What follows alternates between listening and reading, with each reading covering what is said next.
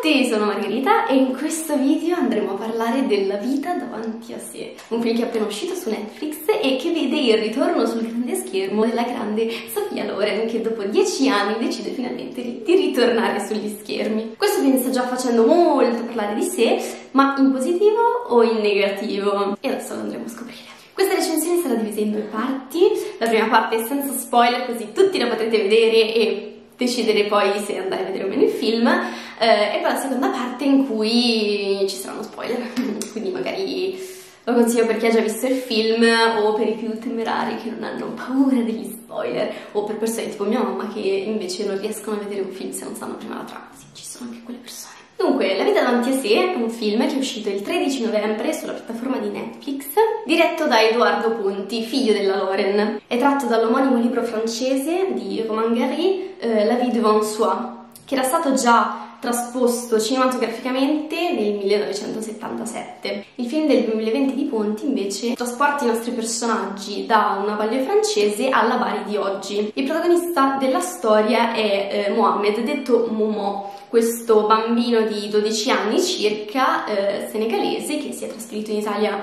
eh, da molto piccolo e vive senza i genitori eh, da questo medico che ha questa specie di casa, ehm, casa famiglia, diciamo, no? dove tiene diversi ragazzi con insomma, situazioni problematiche, eccetera, eccetera.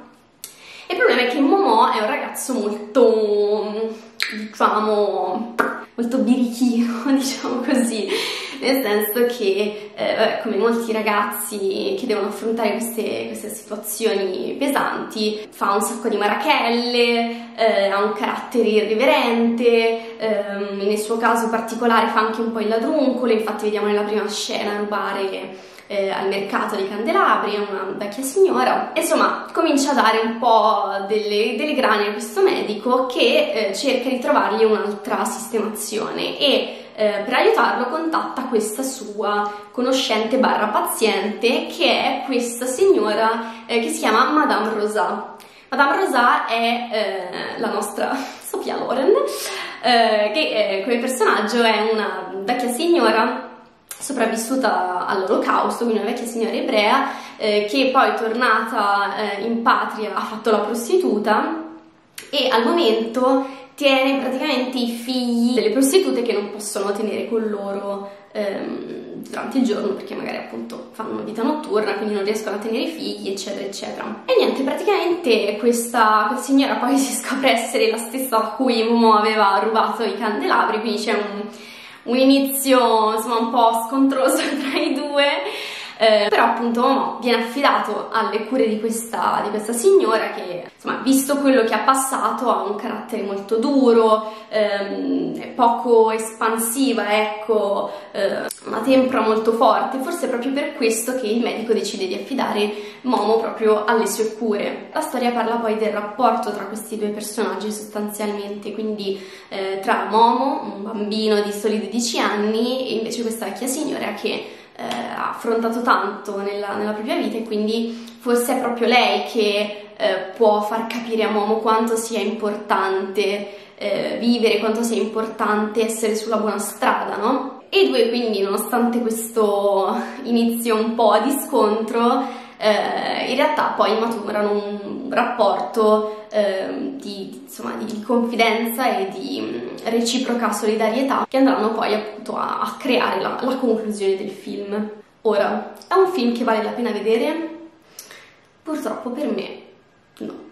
La storia in sé potrebbe anche essere interessante, però il modo in cui viene trattata, il modo in cui fanno agire i personaggi, eh, gli dà un non so che di già visto, di, di, vecchio. È uno di quei classici film dove per tutto il tempo non sai se mandare avanti il cursore e già dai primi dieci minuti del film sai benissimo dove vuole andare a parare e quale sarà la conclusione. Sembra voler essere un dramma, no? Su, eh, sulla psiche di questi personaggi, su quello che hanno vissuto, eccetera ma la verità è che in realtà è trattato molto superficialmente, cioè tutti, tutti questi drammi sembrano trattati molto superficialmente e i personaggi hanno questi cambi che non derivano davvero da un, un effettivo processo di maturazione, no? Sembrano fatti così, a caso, cioè repentini, senza un qualcosa che li abbia veramente sviluppati, no? Senza che questi personaggi abbiano veramente sviluppato queste maturazioni interiori. Cioè, da un, da un momento all'altro cambiano radicalmente. Sembra un po' una favoletta, cioè una bella favoletta ai giorni nostri, vista e raccontata da un bonario nonno.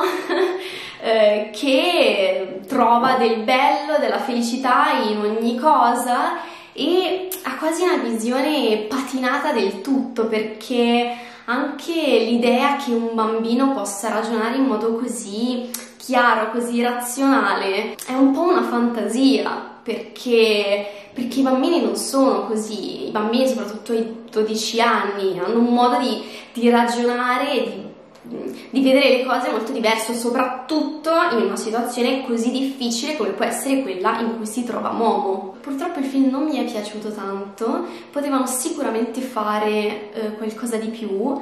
Eh, la Loren è fantastica, assolutamente c'è da tutto di sé in questo film, eh, nonostante le sue battute in realtà non siano neanche così tante, ma ha questa presenza eh, assurda, questa presenza sembra onnipresente in questo film. Cioè, che poi lei non fa neanche tutte queste azioni, no? In realtà gli ambienti in cui la vediamo sono di solito solamente la casa e qualche volta fuori, ma veramente due, due volte in croce eh, ma c'è, sempre, cioè lei è veramente fantastica, però purtroppo non riesce a salvare il film. Parlando della Loren, in realtà l'unica cosa che mi è piaciuta veramente è il cast, cioè il cast megoglioni, veramente bravissimi, bravissimi, dal primo all'ultimo, cioè non ce n'è uno che non mi sia piaciuto. La Loren, vabbè, eh, ne abbiamo già parlato a non finire, bravissima, un'espressività assurda, cioè nonostante appunto non, non abbia così tante battute significative, diciamo, lei dice, ti dice tutto, capito? Ti dice tutto con, con, col, col viso, con lo sguardo è pazzesca, cioè bravissima, eh, sembra, non sembra che avesse smesso di recitare già da più di dieci anni, sembra veramente che il suo ultimo film l'avesse fatto l'altro ieri, super brava, donna proprio cioè nata per recitare, non, non saprei come altro dirlo. Inoltre questo, in questo ruolo mi è piaciuta molto anche perché secondo me eh, cioè, la Loren che cos'è per noi, no? L'abbiamo vista eh, nei panni del, della magliatrice, donna seducente, però forse prima di tutto è quasi, quasi mamma, no? E quindi questa, questa Madame Rosa, questa, eh, questo personaggio che diventa un po' la mamma di Momo, un po' la mamma di questi bambini è forse veramente il più azzeccato per lei e i pretesti quindi c'erano tutti per questo film. Camera super interprete, eh, il ragazzo che fa Momo, Ibrahim Agueye, spero si pronunci così, eh, bravo, molto bravo, anche lui eh, ha dato tanto in questo film, era insomma, la sua prima volta sullo schermo e mm, se l'è portato a casa alla grande direi questo film, veramente bravo. Un altro personaggio che mi è piaciuto molto è quello della eh, prostituta transessuale Lola, interpretata da Abril eh, Zamora, che tra l'altro ho letto è anche eh, la sceneggiatrice di ehm, Elite, la serie spagnola, e sta recitando attualmente anche in Vis-a-Vis, che è un'altra serie abbastanza conosciuta su Netflix. Anche lei è veramente brava. Mm, una recitazione molto, molto naturale, mi è piaciuta molto. Ma appunto, come detto prima, in realtà anche se non li cito, bravi tutti nel cast, mm, veramente bravi, dai bambini agli adulti, eh, il negoziante di tappeti, mm, molto bravi. Purtroppo però mm, il terreno era poco fertile di suo e quindi, e quindi insomma non hanno potuto fare molto. Perfetto, da qui in poi ci saranno spoiler a gogo, quindi se non l'avete ancora visto, lo volete vedere, non volete sapere gli spoiler, fermatevi qua e invece con gli altri andiamo avanti. Dunque, una delle cose che non mi è piaciuta di questo film e che secondo me è una sua grossa pecca è la forzatura di far entrare determinate cose, determinati argomenti. Per esempio, eh, come abbiamo già detto, Madame Rosa è una sopravvissuta de- dell'olocausto, no? E l'autore voleva quindi creare una sorta di parallelismo tra le deportazioni naziste eh, dell'epoca dell'olocausto con la situazione invece degli immigrati eh, clandestini in Italia oggi. Infatti c'è anche una scena dove ci sono questi camion, no? camion della polizia che prendono questi migranti che dovrebbe far ricordare eh, i camion dei nazisti che pigliavano eh, dal, dalla strada gli ebrei e li portavano nei, nei campi di concentramento. Secondo me è un po' forzata come cosa, cioè è un po'... Um, cioè sembra voler mettere lo spettatore in una situazione di vedi, cioè questa è la stessa cosa, quindi ti deve toccare, ok? Um, no, secondo me non è la stessa cosa. Cioè, voglio dire, stiamo parlando di quello che è successo in passato, che è stato uno sterminio di massa organizzato a mente fredda eh, e non può essere, secondo me, paragonato con la situazione di, di ora, di, cioè, voglio dire, della situazione dei, degli immigrati clandestini di adesso. E non è il parallelismo giusto, cioè, non... Um, è un pochino, è un pochino forzato. Un'altra cosa che uh, mi ha fatto un po' storcere il naso è stata la citazione iniziale, ovvero eh, noi all'inizio vediamo Momo che mh, mm, ruba dei candelabri, no? Ruba dei candelabri alla stessa Madame Rosa che ancora non conosce, che è al mercato e eh, sta cercando di venderli, insomma. E, e cosa succede? Questa, questo furto dei candelabri è palesemente una citazione alla storia dei, dei miserabili, no? Quando Jean, Jean Valjean va dal, dal, prete e che lo accoglie in casa e lui che non ha niente, che non sa che cosa fare, gli ruba questi candelabri, viene poi appunto scoperto eccetera e il, il prete però non lo condanna, anzi dice no, glieli ho regalati io, no? Ok? Quindi è una figura un po' di salvezza per questo povero uomo che eh, ha perso completamente la strada, non sa più che cosa fare, no? E quindi vuole essere un po' la stessa cosa, no? Cioè fare intuire che eh, Momo rappresenta sostanzialmente Jean Valjean che conosce solo quel modo di fare che ehm, cerca di rubare per, per, farsi una vita e quindi eh, di conseguenza Madame Rosat sarebbe il, il prete che eh, con, con, insomma, con, la sua bontà d'animo eh, cerca, cerca, cercherà poi di, di salvarlo, di metterlo sulla retta via. Anche qua mi sembra un po' un voler eh, fare i colti a sproposito, però tra l'altro tutto ciò viene ancora mh, mm, peggiorato dal fatto che successivamente nel film quando Momo è dal tipo dei tappeti, lui a un certo punto gli fa una citazione dei miserabili e gli dà il libro, no? Sostanzialmente, come dire, cioè, tieni, no, non conosci i miserabili, ma come, eccetera, eccetera. E lui, vabbè, lo butta via, eccetera, eccetera. Ma quindi, perché, cioè, cosa c'entra in quel momento la cosa dei, dei miserabili? N nulla, cioè, non, non non puoi dare, cioè, essendo un film francese, posso capire che magari per i francesi è, insomma, è un pezzo di, di, letteratura molto più noto, nel senso molto più abbordabile. In Italia magari per un bambino di 12 anni mi sembra un po' strano sembra un po' strano dargli così in mano il testo dei miserabili quando c'è probabilmente anche un ragazzo del liceo, non si mette proprio a leggerlo, ok? E quindi sembra veramente fatta solo per ah, avete colto la citazione di prima che era dei miserabili? quanto siamo intelligenti! No, no, no, da, da solo fastidio. cioè, ero tipo, vabbè, ok, cioè sì, ho, ho, capito, nel senso non sono stupida, va bene? Poi, per carità, in realtà ci sono alcune scene eh, interessanti, insomma, do, dove ti creano ecco, una bella atmosfera. Ci sono state alcune scene che hanno creato un, una bella atmosfera che ero lì a guardarle, insomma, vabbè, carine, no?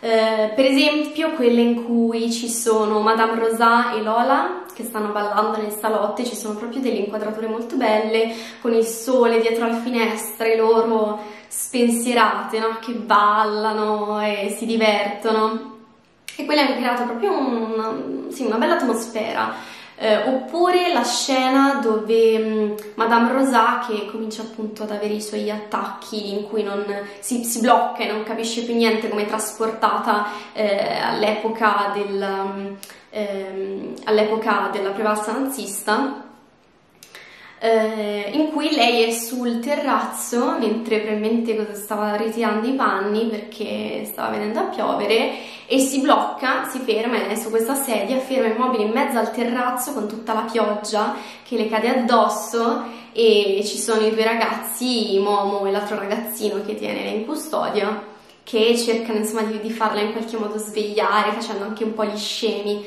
E quella anche è una scena insomma comunque interessante. Il problema è che queste scene sono veramente sporadiche, cioè per tutto il tempo è un vabbè ho capito, andiamo avanti. Il problema di questo film è che veramente sembra che tutta l'impalcatura si regga solo sulla Loren. Eh, però il problema è che non, cioè non può da sola dare luce a una stanza completamente buia e quindi purtroppo il film va molto a perdersi. Belle interpretazioni ma eh, mancava tutta, tutta la sostanza. Molti di voi a questo punto si staranno chiedendo ma però voglio dire, no? Ci hanno fatto anche un film precedente, un libro molto famoso tra l'altro, ma è veramente possibile che ne venga fuori un film così ciofeca? E adesso vi parlerò anche del vecchio film, perché io, anch'io mi sono fatta esattamente le stesse domande e mi sono andata a vedere il film vecchio che tra l'altro eh, si trova su YouTube, in francese, eh, però ci sono anche dei sottotitoli in inglese e vi linkerò ve lo linkerò qua sotto perché? Perché è molto molto bello e consiglio a tutti quanti di guardarlo. Eh, li ho visti nello stesso giorno, li ho visti ieri, ho visto la mattina quello della Loren, il pomeriggio ho visto quello del 1977 mm, e vi giuro che uno dei due mi è, mi è rimasto nel cuore e non è quello del 2020. Nel 1977 infatti è stata fatta la prima trasposizione cinematografica di questo libro eh, che si chiama appunto La vie devant soi, che è un, vogliamo ricordarlo, un film francese, quindi tutto ambientato nella Francia, ma tra l'altro vecchia Francia dell'epoca del libro, ovvero parliamo del 1975. Tra l'altro, per chi non lo sapesse, eh, Romain Gary in realtà pubblicò questo libro sotto falso nome e la cosa non venne scoperta fino a dopo la sua morte, morte che avvenne eh, per suicidio. Tra l'altro pochi anni dopo, mi sa, della pubblicazione. Il film, di cui la regia e la ehm, sceneggiatura furono fatti da Moshe Mizrahi, perdonate la pronuncia, non, non so bene come si pronunci, ehm, vinse anche alcuni premi. Nel 78 vinse l'Oscar come miglior film straniero e l'attrice che interpreta Madame Rosa spettacolare, veramente spettacolare. L'attrice Simone Signoret eh, anche lei vinse numerosi premi per questa sua interpretazione. I premi César come miglior attrice protagonista e il David di Donatello eh, come eh, miglior attrice straniera. Allora, il film del 77 è un capolavoro, è veramente bellissimo è molto molto fedele al libro, eh, nonostante abbia letto che comunque è un po' meno crudo del libro, ma comunque anche il film, cioè non, non, non c'entra niente con quello del 2020, è, ha proprio un'altra atmosfera, un'atmosfera molto alla francese, se si può dire, e si vede, si vede che è tratto da un romanzo, ehm, e ha questa atmosfera un po' tra il ironico in certe situazioni, no? che ti fanno anche ridere, ma che ti fanno anche piangere, cioè perché poi ci sono delle cose drammatiche assurde e la bellezza di questo film è poi come tutto viene trattato, ma perché come nel 2020 anche qua il protagonista è Momo, che è in realtà questo, questo ragazzo che viene affidato alle cure di eh, Madame Rosa, che è appunto prostitute, eccetera, eccetera. Vivono in Francia, nella banlieue francese, in questo quartiere eh, multietnico e praticamente Madame Rosa in questo film è un... cioè sembra quasi una nutrice, nel senso che eh, ha questa casa ma piena di bambini, no? Perché eh, all'epoca la legge francese non permetteva alle prostitute di allevare i propri figli, no? Quindi essendo lei un'ex prostituta e eh, voglio dire mm, dovendo finire a una certa età questo tipo di lavoro, poi per continuare a guadagnarsi da vivere decide di prendersi tutti questi bambini e creare cioè, una specie di orfanotrofio, perché sono tantissimi questi bambini, sia appunto dalle prostitute che non potevano badarli, sia in realtà da magari appunto immigrati che non avevano i documenti o persone che avevano problemi insomma a tenere i bambini, eccetera, eccetera, no? E quindi cosa succede? Lei prende questo bambino che è appunto Momo, ma da piccolo, cioè quando aveva 4 anni, eh, e, e, il loro rapporto cresce col tempo, matura. Eh, Momo arriva a essere un ragazzo di 12 anni, in realtà 14, ma vabbè, questo poi si capirà meglio.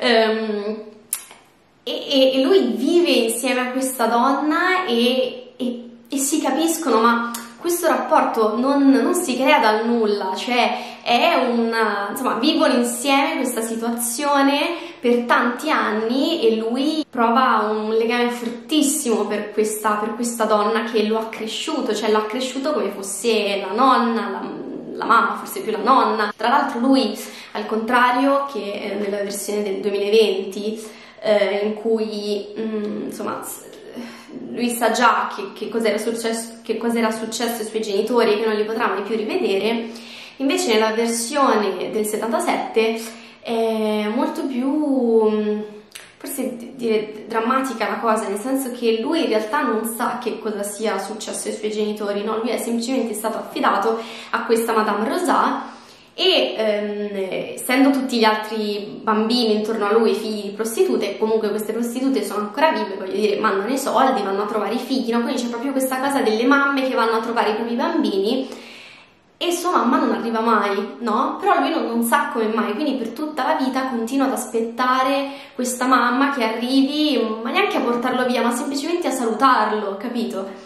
Eh, però non arriva, anche perché poi, insomma, si scoprirà, si scoprirà come mai. Questo film ha un'atmosfera completamente diversa, è molto più crudo però anche dolce, sembra quasi poetico in alcuni punti e soprattutto il fascino di questo film è che è veramente raccontato con gli occhi, ma gli occhi sinceri di un bambino che tutta la sua vita la passa in questo quartiere povero, multietnico, quindi anche un po' mm, emarginato della società. E questo mondo lui lo giudica con gli occhi innocenti di, di un bambino piccolo che forse in realtà tanto piccolo non è, perché Momo è come se fosse un bambino mh, mm, costretto a essere grande troppo presto, no? proprio il classico bambino che deve, deve, diventare già adulto. E per tutto il film noi lo sentiamo anche raccontare e a volte dal, dalle sue parole nascono anche riflessioni su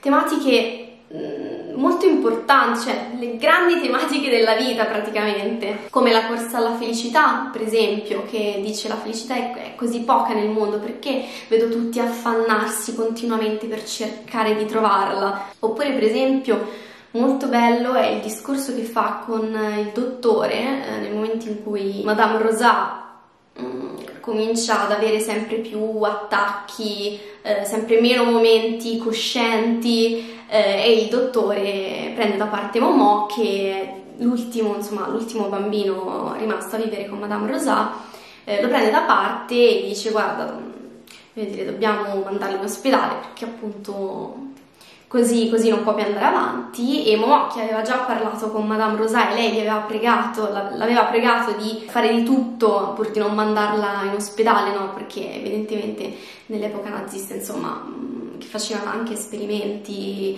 eh, sugli ebrei, eccetera, probabilmente ha vissuto chissà che atrocità e, e, appunto lei non, non, ne vuole sapere di andare in ospedale, di tornare sotto no, i bisturi, le cose, le, insomma non vuole dare più il suo corpo via, che già l'ha dovuto dare abbastanza sia eh, nell'epoca nazista sia poi quando insomma, ha dovuto arrangiarsi facendo la prostituta, basta, non vuole più dare via il suo corpo, eh, non ne vuole sapere di andare in ospedale e eh, lo prega di piuttosto metterle un cuscino sulla faccia e farla morire così. In questa scena il dottore e, e Momo parlano e Momo gli dice ma mm, perché? Cioè lei non ci vuole andare in ospedale, eh, piuttosto non sarebbe meglio farla morire?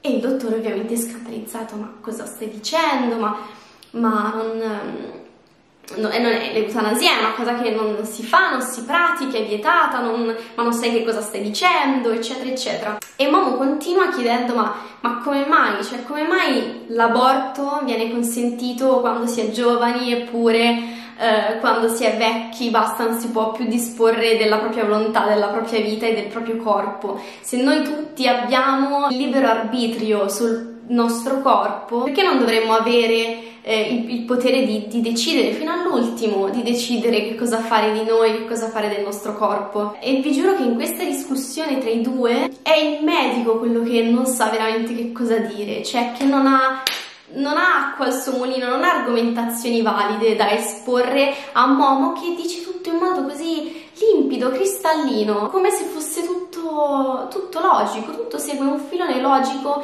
chiarissimo. E il medico le uniche cose che gli sa dire è che è una cosa vietata e che non si può fare, ma non riesce a dare davvero delle argomentazioni valide e Momo eh, continuerà a restare di quest'idea. Tra l'altro questo è è interessante perché è una tematica molto particolare da affrontare, cioè già oggi è un po' più normalizzata, però comunque stiamo parlando di eh, un libro scritto nel 75, quindi cioè, era una situazione molto diversa, ecco.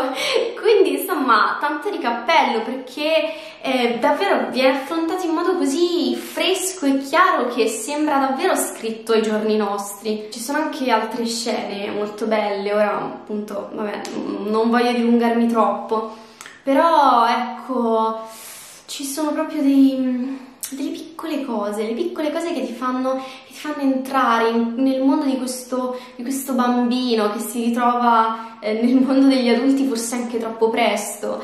Eh, come può essere proprio all'inizio, in realtà c'è una scena in cui lui, lui vuole, un, vuole un cane, vuole avere disperatamente un cane e va in questo negozio e praticamente ruba questo cagnolino e, e, lo ama tantissimo, cioè diventa il suo migliore amico, no, praticamente. Eh, però si rende conto che in realtà se questo cagnolino restasse davvero con lui vivrebbe un po' la sua stessa sorte, no? E lui è così maturo da capire che, che non vuole per questo cagnolino la sua stessa vita, no? E quindi che cosa fa? lo dà a una signora, un, insomma, una ragazza che, eh, ricca che potrà tenerlo, che potrà curarlo e, e glielo vende così che lui possa avere una vita migliore e questi soldi li prende e li, li butta nel tombino. Cioè, ragazzi, quanto, quanto è... quanto è profonda questa scena? Cioè, questo bambino che che dà via il cagnolino e poi non li vuole questi soldi che gli hanno dato per il suo cane perché non, non li vuole, non, non gli interessano. Bellissimo, veramente belle. Come questa ci sono un sacco di altre scene veramente toccanti, cioè mi sto emozionando adesso solo a raccontarle. Anche nel finale, no? In cui lui nasconde Madame Rosa eh, nel, nel seminterrato ehm, e, e resta con lei per giorni. Nel film del 2020 quasi stona un po' quella parte, se devo essere sincera, perché è un po'...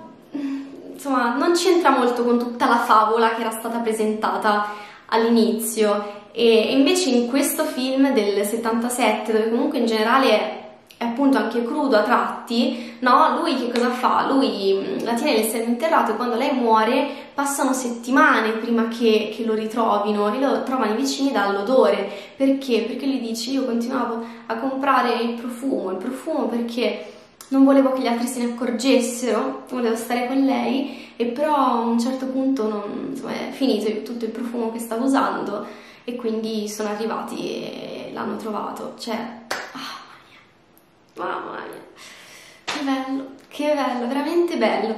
Purtroppo non c'entra proprio niente il film del 2020, la sceneggiatura è stata completamente, completamente riscritta.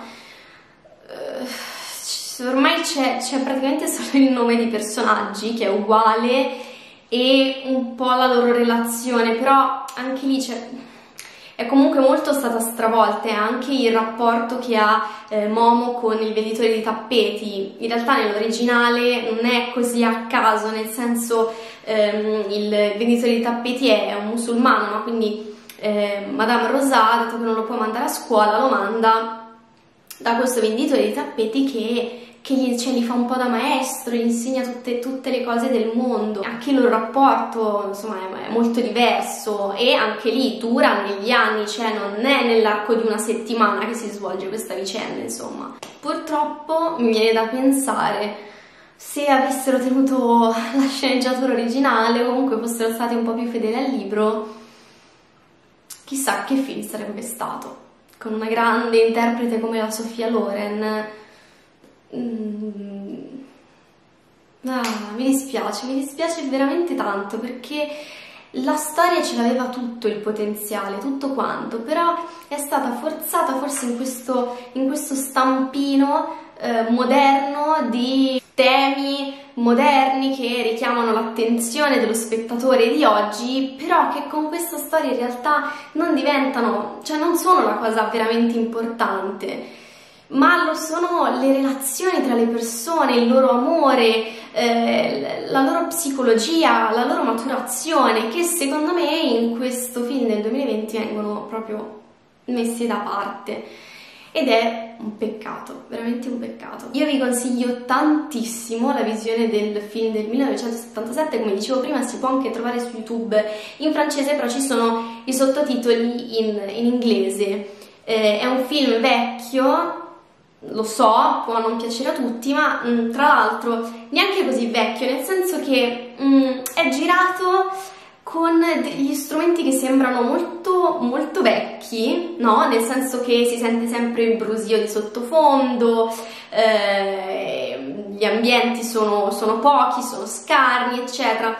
Però in realtà pensandoci non è neanche così tanto vecchio, probabilmente questo modo di girare e questi eh, attrezzi che sono stati usati forse sono stati usati di proposito per rendere appieno l'atmosfera del film e fosse così veramente tanto di cappello, cioè come fare un bel film, come fare davvero un, un, una bella regia, cioè tornare indietro nonostante magari si avessero dei mezzi più moderni, eh, microfoni migliori, eh, però come tutto questo in realtà eh, abbia, abbia, il suo scopo, cioè ci faccia entrare ancora di più nella povertà di questa situazione, cioè questo è veramente un modo intelligente di come eh, fare una regia e di come utilizzare i materiali, cosa che secondo me non è stata fatta per esempio nel 2020, nel senso che non so, a un certo punto c'è addirittura una leonessa in CGI mm, che veramente sembra usata, messa lì solo per dire ah, ce l'abbiamo anche nella tecnologia, ah, però fa schifo, boh, vabbè, non c'entriamo, cioè nel senso potevano renderla in un altro modo sicuramente piuttosto che fare una leonessa in un mezzo CGI un po' così che poi compare tipo in due scene, cioè mm, non lo so. Comunque insomma, consigliatissimo il film del 1977 molto meno consigliato purtroppo quello del 2020, nonostante eh, la adoratissima Sofia Loren sia anche qua super brava, eccetera, eccetera, ma come dicevo prima, eh, purtroppo non può lei da sola fare tutto il lavoro. Spero che questa recensione vi sia piaciuta.